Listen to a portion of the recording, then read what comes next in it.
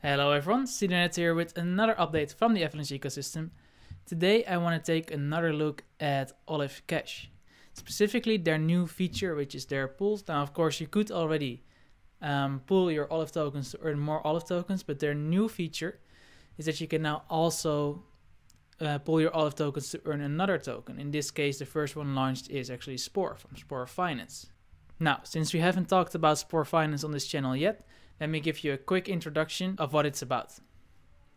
Spore is a reflective token, which means that for every transaction, a number of tokens gets burned and a number of tokens get redistributed to the other Spore addresses. This means that supply constantly decreases and just holding the token automatically earns you more of the token.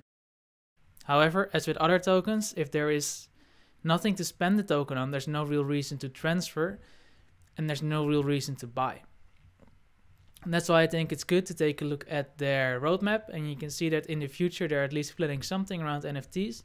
And also if you look at their website there is something with a BSC bridge, at least for the Spore token.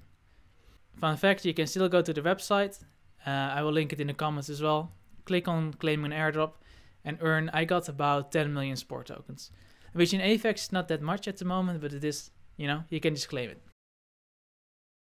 Now I think by the way they're set up, Spore Finance benefits a lot from having their tokens spread around as many addresses as possible, so it makes perfect sense for them to be in the pool on Olive Cash. Let's take a quick look how it works. I have a little bit of Olive that I got as claim rewards from my uh, Yield Yak compounds, and I'm just gonna put them in here. It's a very simple approve, and then just uh, deposit, and you will slowly be starting to earn some Spore tokens. Guys, that's it. Short update. Let me know if you join the pool, and I hope to see you in the next one. Bye bye. One more thing. Like some human beings, I have a normal job that uh, takes place during the day. In that case, if something goes live, I sometimes click already and record it, but do not any do any voiceover anything. So there is some time between when I actually do the transaction and when the video goes live. In this case, at this moment, I have already earned over 1 billion Spore tokens in this pool. So uh, yeah, it's going quite fast. Of course, in value, that's not that much yet, but uh, I thought it was an interesting fact. See you in the next one.